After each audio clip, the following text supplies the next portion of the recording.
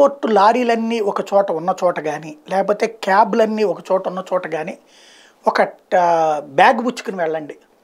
అందరూ పరిగెత్తుకుంటూ వస్తారు. మాదెక్కండి మాదెక్కండి ఎంత కావాలి ఎక్కడికి వెళ్ళాలి ఇవన్నీ ఒకేసారి పది మంది మూగిపోతారు.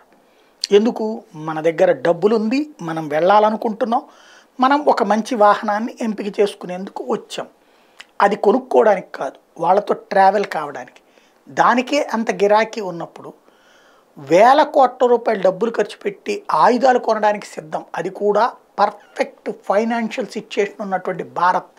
సరైన చెల్లింపుదారు అప్పులు కాదు నేరుగా డబ్బులు చెల్లించగలిగిన స్థాయిలో ఉన్న భారత్. ఆయుధాలు కొనుగోళ్ళు ప్రారంభిస్తే ఇప్పుడు అమెరికా ఫ్రాన్స్ బ్రిటన్ పోటీలు పడుతున్నాయి.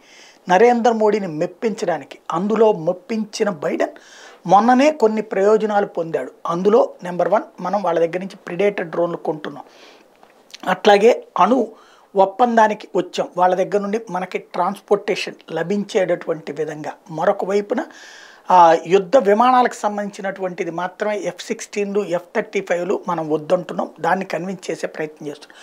అయితే అమెరికా కంటే మా దగ్గర ఉన్న రఫేల్లే మీ భూభా భౌగోళిక స్వరూపానికి పనికొస్తాయి. కాబట్టి మా దగ్గర కొనండి అని ఫ్రాన్స్ అంటుంటే మా దగ్గర ఉన్నటువంటి యుద్ధ ట్యాంకులతో పాటుగా డ్రోన్లు ఇస్తాం. వాటిని కొనమని బ్రిటన్ అంటోంది. ఒక్కొక్క దేశం ఒక్కొక్క ఆఫర్లు చేస్తుంది భారత్ అవసరాల రీత్యా. భారత్కి చైనాతో స్ట్రగుల్ రీత్యా ఎక్కువ ఆయుధాలు అవసరం అవుతుంది అన్నటువంటి ఉద్దేశమే ఈ మొత్తం వెనకాల కనబడుతుంది. మార్కెట్లో మోడీ కోసం మోడీని మెప్పించేందుకోసం అగ్రరాజ్యాలు పోటీ పడుతున్న దాని వెనకాల ఆర్థిక అవసరాలు ఉన్నాయి